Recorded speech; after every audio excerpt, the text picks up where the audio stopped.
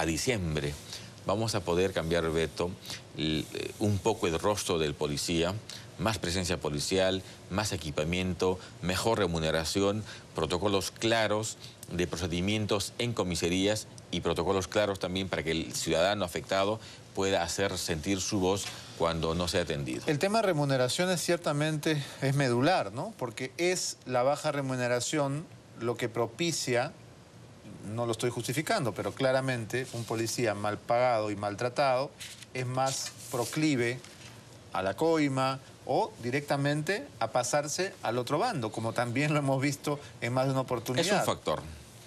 Es un factor que no estoy seguro que sea determinante. Creo que en el tema de la honestidad, en un asunto de formación, también de oportunidad, el dicho en arca abierta el justo peca, nosotros vamos a tratar de establecer mecanismos de control, actos de inteligencia. El policía va a saber que pronto el Ministerio va a implementar una serie de mecanismos eh, anticorrupción para reducir, no creo eliminar, reducir ese comportamiento. Fíjense, en el tema de la remuneración, lo que el Ejecutivo está haciendo no es un aumento, sino una reforma en el sistema remunerativo del policía. En ese proceso de reforma que se va a implementar en los próximos cuatro años, se está privilegiando por un tema de justicia social a quienes perciben menos. El aumento va a ser significativo de, para aquellos que tienen el grado de comandante hasta el último escalón de la policía. Eh, no es lo mismo para los que tienen jerarquías mayores, porque en verdad el gran retraso remunerativo está en los escalones inferiores. Eh, esto tiene dos propósitos reponer un poco su capacidad de adquisición, pero también tratar de hacer eh, interesante, atractiva la carrera policial.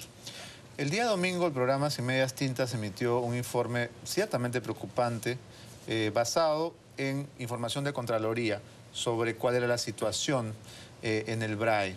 ¿Vio el informe? ¿Cuál es su comentario? Por supuesto, lo vimos y creo que agradecemos la para mí es muy importante el rol que cumple la prensa en, el tono fiscalizador. Eh, la verdad es que yo no conocía el informe. Eh, no lo tenía en el despacho como un tema pendiente. Sin embargo, hay que decir que es un informe que se eh, distribuyó en las áreas, se han venido tomando ya acciones. De hecho, la base policial está en proceso de construcción y en 30 días se debe de inaugurar una base... Mm, que eh, cambia, no de un modo radical todavía, las condiciones de detención, pero la infraestructura va a variar.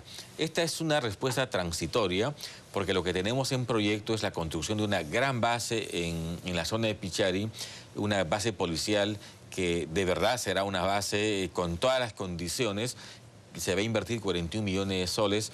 Estamos ahora en la definición de las especificaciones técnicas y vamos a usar, porque así nos, ha instruido el presidente de la República, mecanismos de contratación incluso excepcionales para hacer que eh, la zona del Braga en general tenga una infraestructura distinta. A ver, no es solo la base Pichari, sino un conjunto de em, de obras que se van a hacer en comisarías en toda la zona, eh, más o menos 50 millones de soles en infraestructura además de eh, adquisiciones que estamos comenzando a definir para los próximos tres meses, que va a cambiar de un modo significativo el equipamiento que el policía tiene en la zona del Brain.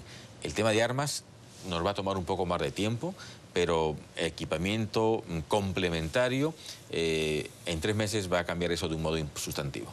Para terminar, ministro, voy a eh, formularle una pregunta que también le formulé al suboficial Millones en el Valor de la Verdad. Estuvo el general Raúl Salazar, director de la Policía Nacional, en la zona de batalla en Quiteni el 12 de abril? Eh, entiendo que sí. Eh, entiendo que ha estado formando parte del comando. A ver, vamos a precisar lo siguiente. Eh, zona militar, estado de emergencia, el comando, la decisión del comando la tuvo en ese momento las Fuerzas Armadas. La información que tengo es que el general Salazar integraba el comando unificado eh, y obviamente ha estado en, la, en el teatro de operaciones. Pero el, el, que, el, jefe, de la operación era el general Howell, no era el general Salazar. Absolutamente, porque eh, es una operación eh, que fue conducida por las Fuerzas Armadas en razón al estado de emergencia. El general Salazar componía el comando, pero su rol era ese, las decisiones, hasta donde entiendo, y hasta donde he revisado alguna información, las adoptaba el general Jawel. ¿Está usted satisfecho con eh, el trabajo del general Salazar? Le pregunto esto porque los periodistas nos preguntamos cómo es que ha sobrevivido al desastre de Quiteni, al escándalo de Chejade y al del Camal de Hierbateros, en el que la, hermana, la prima del presidente Liliana Humala lo involucró y él admitió que había ordenado ese desalojo. ¿Usted se ha preguntado si el general Salazar es, sigue siendo la persona idónea para dirigir la Policía Nacional? Lo digo eh, con la verdad, eh, Beto, y sin polígrafo, no hay necesidad. Todos estamos en un proceso de evaluación permanente en la policía. Eh, hasta ahora siento que él cumple una función. La policía, mm, como usted sabe, hace unos meses pasó el retiro a 31 generales eh, nosotros mm, estamos mm, ciertamente en evaluación eh, permanente. Eh, no quiero desestabilizar la institución y las decisiones que se toman las tomaremos cuando correspondan. Yo tengo la mayor libertad para hacer los correctivos correspondientes, pero quiero ser prudente en este tema. Estamos en un proceso de reforma intensa en la policía con las, delegaciones que nos ha dado el, em, el legislativo y mm, de manera tal que sin que nadie sea dueño de un sillón, eh, el general Salazar en este momento continúa en, en la actividad. Todos están entonces en observación. Esa es una regla, yo lo he dicho al inicio de la gestión con todos los generales, lo que yo valoro eh, y, voy a tomar en cuenta para fines de ascenso, de promoción o de pase a disponibilidad, va a ser un tema. Resultados, meritocracia eh, y por supuesto capacidad de trabajo. Lo he dicho expresamente y así va a ser. De modo tal que eh, mm, hoy prefiero mm, manejar con mucha prudencia el tema.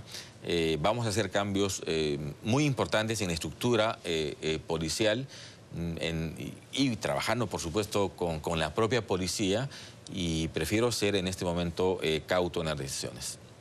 Bien, entonces, para, para zanjar el tema de los deudos que reclaman el estatus de héroes para sus hijos caídos en armas, entiendo que lo que usted tiene que decirles es una verdad amarga, ninguno de ellos será héroe nacional. Ni Vilca, ni Tamani, ni la capitana Flores tendrán ese estatus de acuerdo a lo que usted nos ha explicado esta mañana. Yo diría que no es un tema cerrado, solo estoy explicitando cuál es la circunstancia. Eh, la un libro, un monumento, suena... Suena, suena complejo, sin duda. Yo me voy a reunir con ellos hoy. La congresista Chihuán eh, me ha pedido una reunión me, lo pidió en el Congreso y hemos concertado una reunión para hoy. Entiendo que viene con familiares eh, de muchas víctimas. Trataremos el tema con la mayor objetividad posible eh, para ver a qué llegamos. Yo creo que el, el, aporte que ellos hacen es un aporte muy importante, yo lo valoro de un modo mm, mm, sustantivo, pero creo que es bueno aterrizar ver finalmente qué se puede y qué no se puede.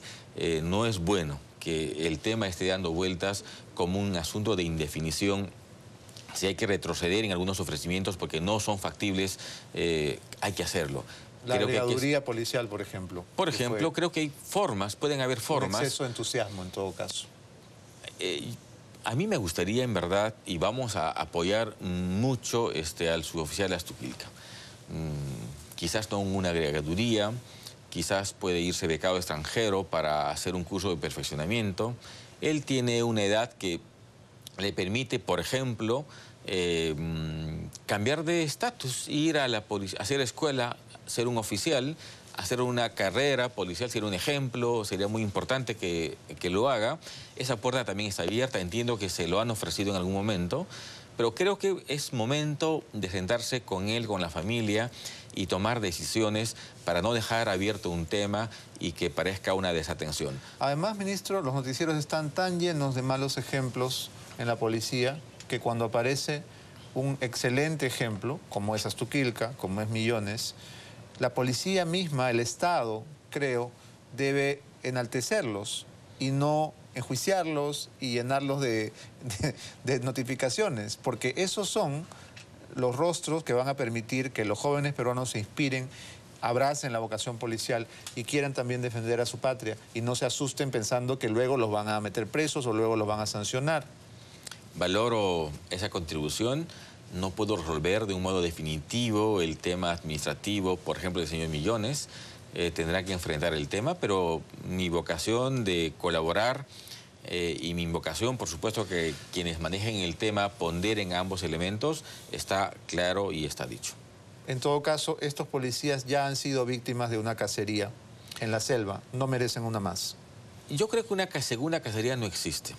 No, no, no, estoy, no creo, en verdad, no tengo un dato fáctico que me permita suponer que, por ejemplo, el señor Millones ha estado en riesgo. Mm, no lo sé. Ojalá que no, que no la haya, ¿no? Desde nuestra perspectiva, absolutamente, y mi disposición en eso, porque sí es un tema que sí me compete, ha sido absolutamente clara.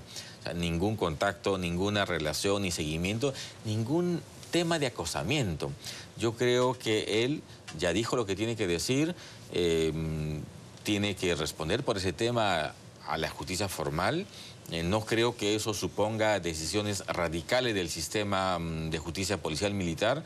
Eh, creo que hay que hacerlo, así con, creo que hay que hacerlo con tranquilidad.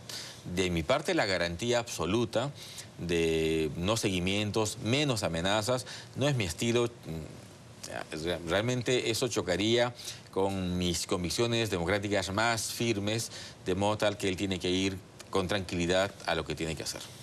Ministro Peraza, ha sido muy ilustrativo y también un gusto tenerlo aquí. Gracias por venir. Encantado, Beto. Cuando guste, nosotros estamos con las puertas abiertas a la prensa eh, para trabajar estos y cualquier otro tema. Gracias nuevamente. Nos vamos a una pausa y cuando regresemos, el Vía Crucis de la familia...